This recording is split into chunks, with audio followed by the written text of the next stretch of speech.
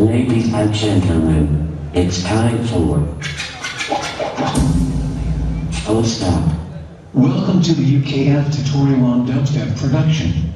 Typically, a tempo of 140 beats per minute is selected.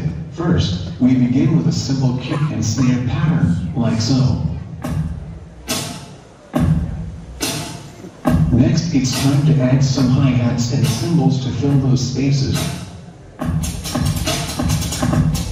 Add some modulated bass lines, and be sure to make that heavy. Oh. Why not try adding a lead in the higher register? Perhaps some sound effects or pads. And now we are ready for the most important part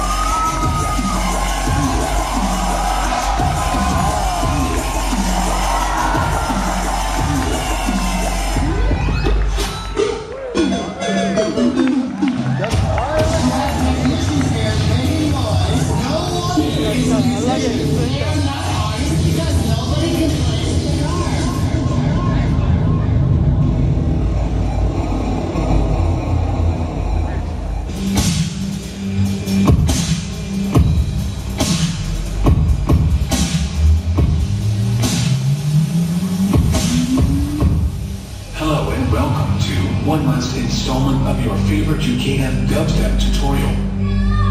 Today, we make a VIP of a VIP what you gonna do about it? What we are gonna do this time, in love with recent tracks in the heavy dubstep scene, is about a million different progressively crazier sounds in.